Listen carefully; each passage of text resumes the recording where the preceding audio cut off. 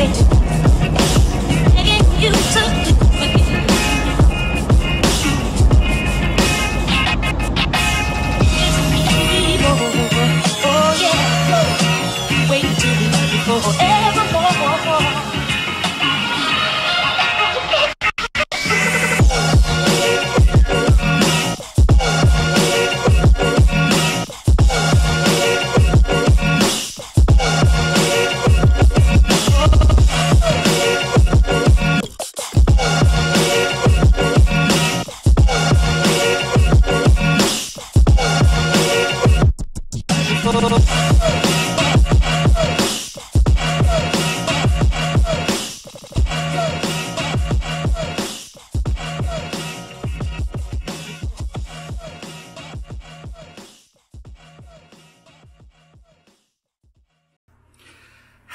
guys, it's Paul Pluta. I'm the method actor who plays Archibald Chesterfield III, that zany character on the Archie Luxury YouTube channel. The YouTube channel with over 40 million views. Guys, today I'd like to talk about I'd like to talk about freedom of speech, press freedom in Australia, and also, I want to talk about why the Labor Party, the Australian Labor Party, the ALP, cannot jump on the bandwagon for this free freedom of press, the free speech. Why the Labor Party can't jump on this bandwagon. And I gotta tell you, this is a very, very grubby situation. We've got a very, very nasty situation which has unfolded in Australia. And we, we've really never seen anything like it. What's basically happened in the space of uh, two days, we have had the Australian Federal Police. Um, the Australian Federal Police is kind of uh, how would you put it? Each the way the way it works in Australia is um, um, we we have state police. Normally, if you get caught speeding or you uh, you you say you have a domestic disturbance or you say commit a, a crime, it's the state police who would uh, deal with it. Uh, then you've got the Australian Federal Police, which is the federal law enforcement agency of the Australian government. Now, they're, they're kind of a unique, they're in a unique role of investigating crime and to protect the national security of Australia. It's an independent agency and it reports to the Department of Home Affairs and is also responsible to the Minister for Home Affairs and accountable to, to federal parliament. Uh, now, this is an interesting situation because what has happened in Australia uh, in very, very recent terms is that we have had um, we've had a situation where we've got a situation where two matters have happened with the media, freedom of speech. We've had a highly respected um, highly respected uh, journalist from News Corporation. Uh, that's the Rupert Murdoch own uh, conglomerate. Um, she had a, uh, a police raid by the AFP, Australian Federal Police. We have also had a situation where the ABC, that's like Australia's answer to the BBC, has been raided by the AFP. And uh, it's it's I got to be completely frank with you. The way this matter has uh, happened, we, we have the Liberals, who are the that's the, the federal government. We in Australia we've got a constitutional democracy. Uh, basically, it's a two party preferred system where we've got the the left wing represented by the Labor Party, the ALP, and on the right wing, we've got the Liberal National Party, the LNP, which is quite strange because Liberal in uh, an American context is their left wing, whereas in Australia it's our right wing. But let's let's not let's not go down that rabbit hole.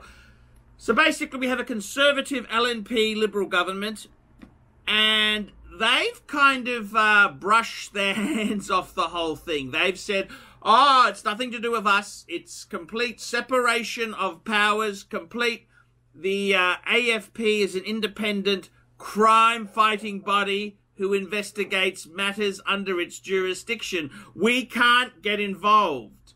Um, and that's that's kind of what has uh, been said there. These matters get very, very political because you're in a a um, obviously they are responsible to Parliament, and the government of the day is the governing body, which is their boss and directs their their flow of attention.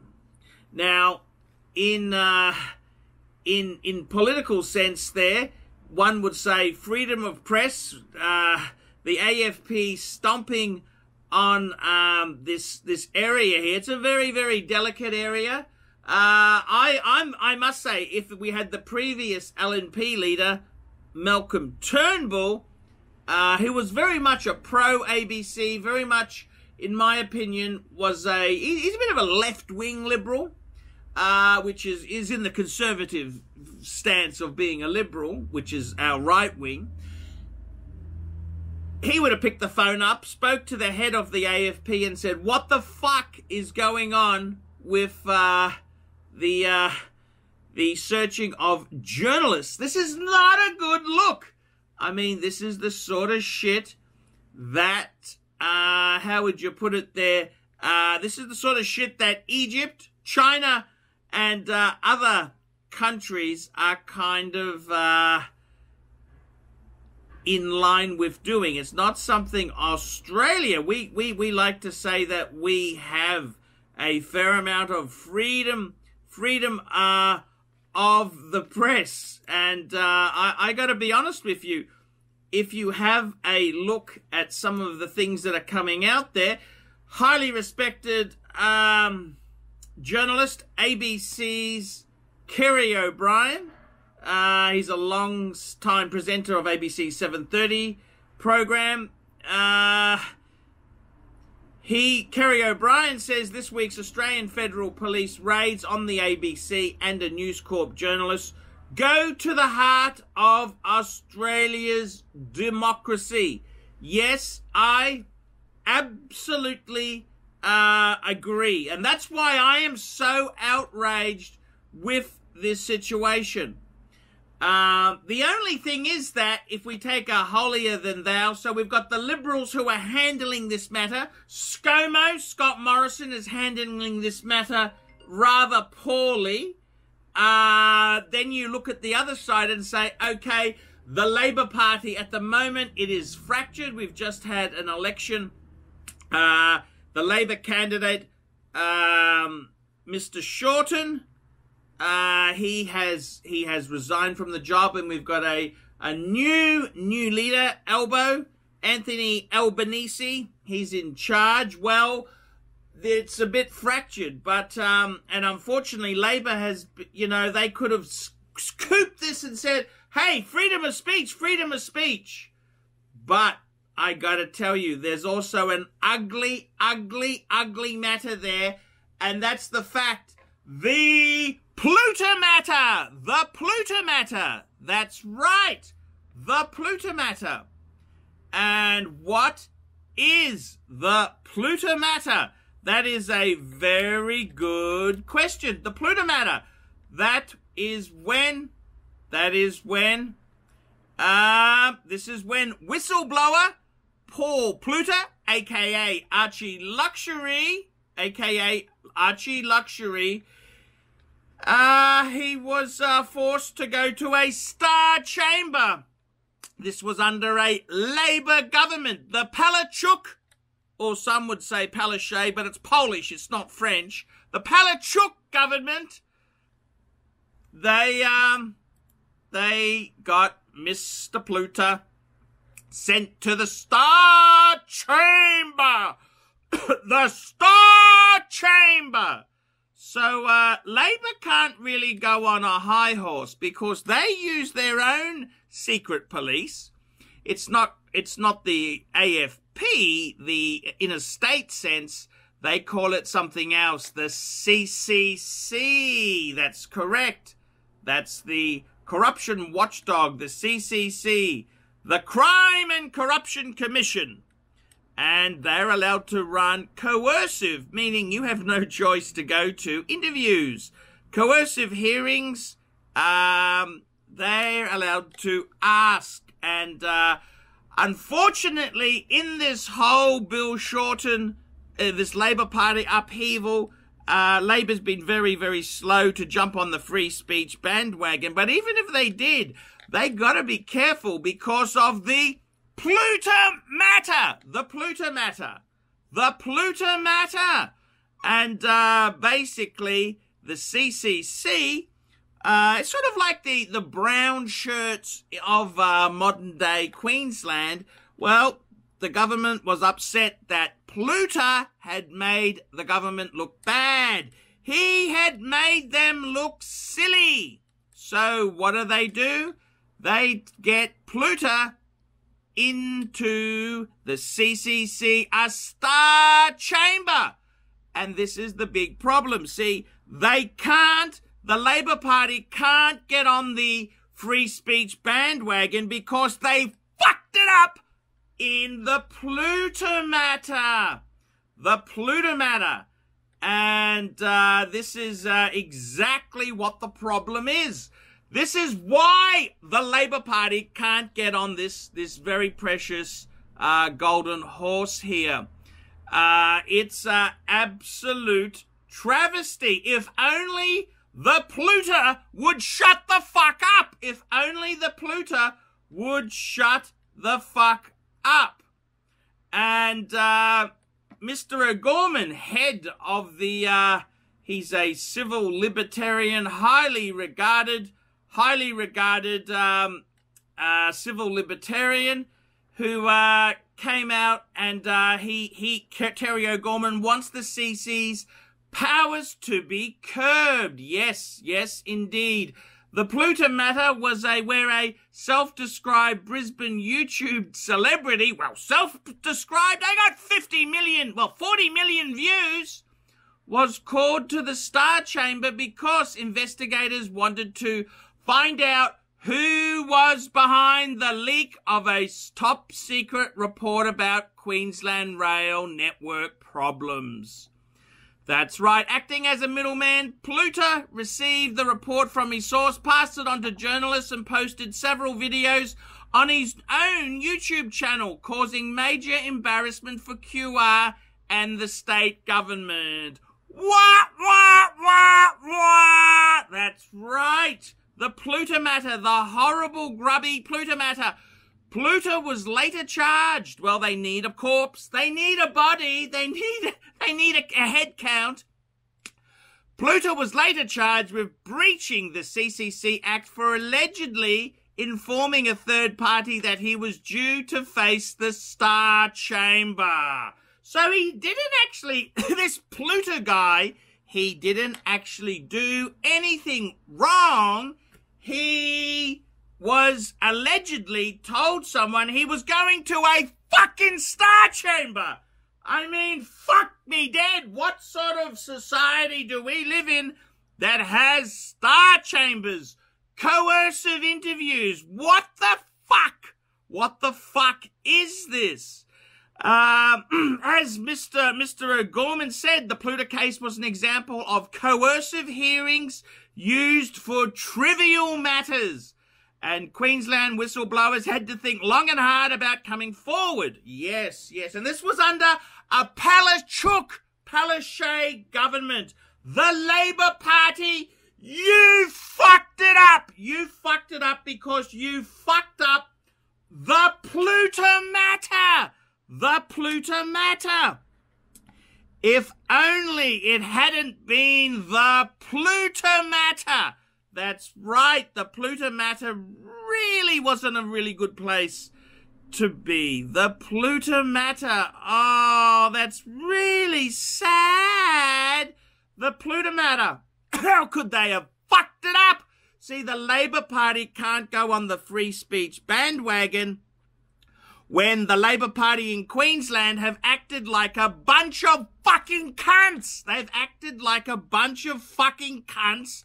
They've taken this Pluta individual off the street and put him into a star chamber. The star chamber. So, uh, yeah. See, this is the reason why the Labour Party can't take the Labour Party can't take the moral high ground. They fucked it up. They absolutely, positively fucked it up with the Pluta matter. The Pluta matter. What a fucking mess.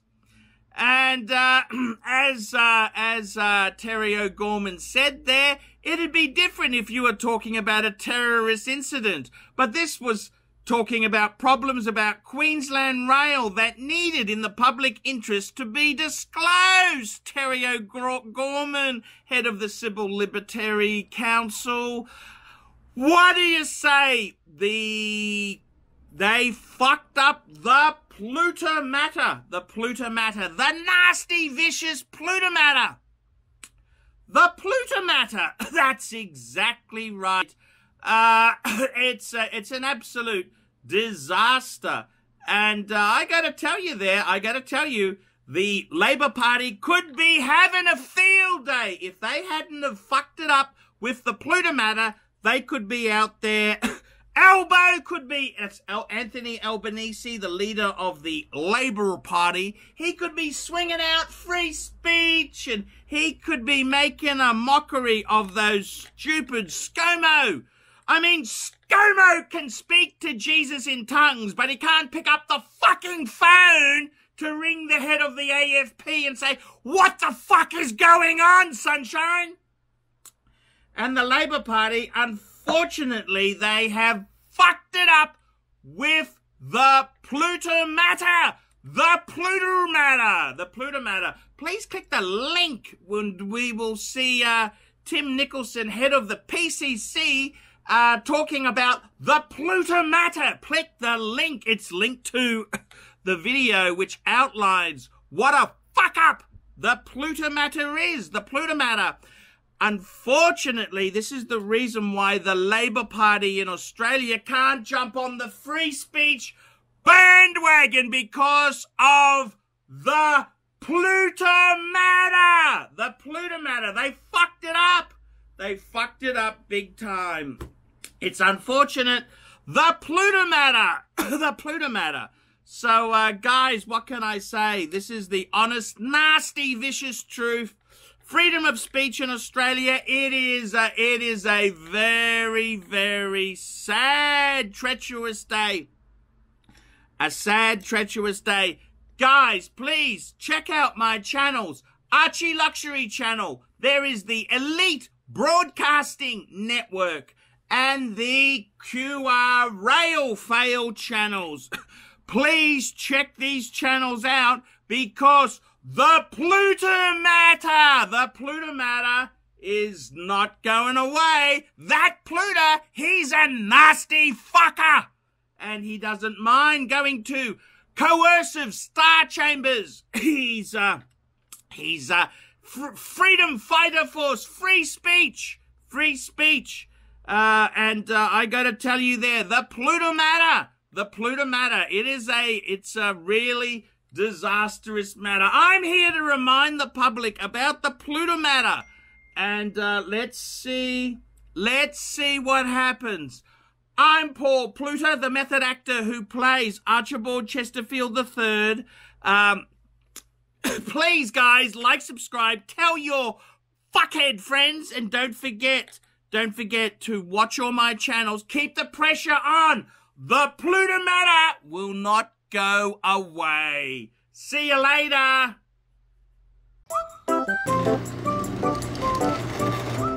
Oh. Hey Archie Luxury fans, if you're into luxury, then you gotta be into 66 Buick Rivieras.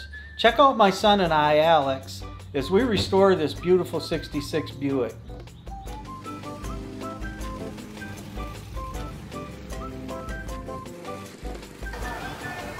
Neighbors are having a picnic, you know, having fun and stuff.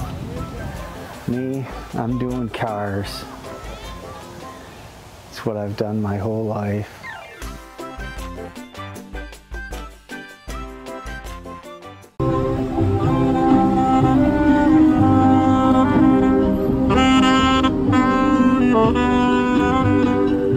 From the creators of the Archie Luxury, the Paul Pluta, and the Archie Luxury Corporate Channel comes something very special and appetizing. Elite Broadcasting, Elite Broadcasting, heavy hitting journalism, now powered by the Archie Luxury Media Group. Please stay tuned for Elite Broadcasting. 120,000 subscribers can't be wrong. Oops. Yes, we used to be Elite NWO, but we had to rename when the left wing got nasty. They got nasty that we were telling the truth. Elite Broadcasting invites free speech. Free speech. Free speech for all. Elite Broadcasting, powered by the Archie Luxury Media Group.